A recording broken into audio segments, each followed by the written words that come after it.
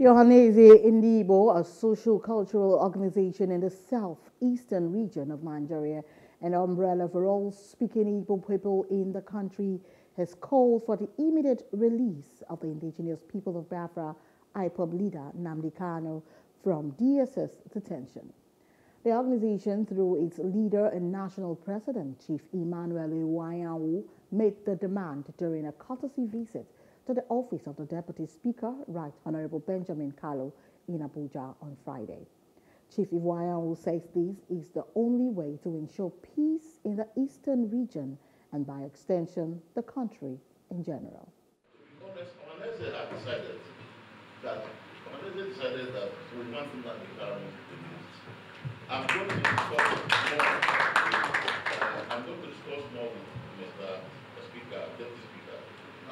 Because some of the things are not things I can talk openly. I'll talk with him. Then he will have the power to discuss with him. But you see, we think that every effort should be made to release Nnamdi Kanu. If Nnamdi Kanu is released, it is going to make it easy for us. Our our problem in Southeast actually is not much. It's based on this uh, this all this type of uh, uh, uh, because our people are educated, we don't have the, the problem of uh, lack, lack of good people. We are not poor. And the only thing is, over the years now, our people have not been able to harness the resources.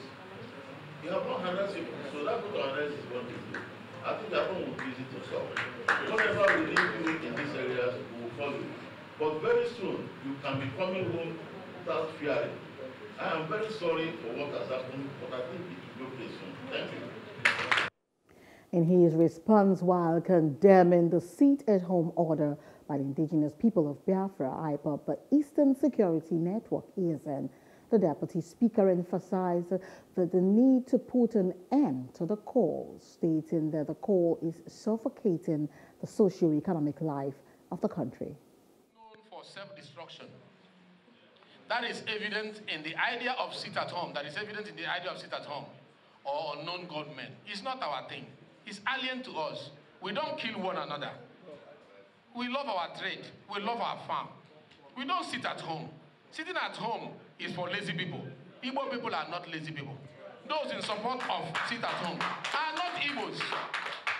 There is no true son of the soil of Igbo land that will support laziness and call it a strategy for secession. If you sit at home, you're a lazy man. Igbos are not known to be lazy. We are industrious. We are entrepreneurs. We work hard to succeed. Say no to sit at home. From, from grassroots to the top echelon of leadership, we all must arise to say no to sit at home. Uh, is leading the advocacy and is also leading the establishment of MSME Council in West Africa. That is the West Africa Unified and proper regulation, proper legislation that we can advance uh, development of MSME and development of our country. Because MSME accounts for over 40% up to 200 employees.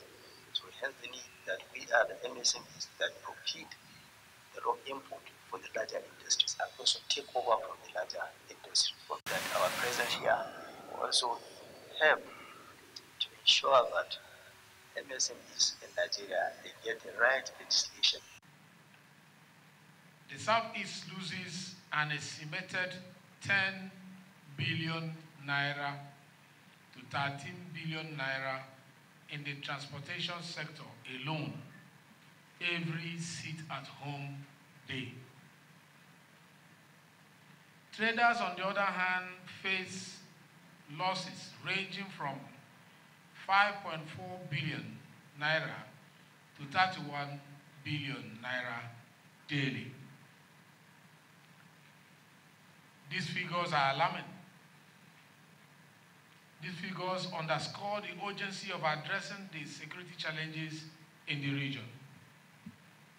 If there's no reason for these non-state actors to stop this, let this be their reason, that they are killing their own region.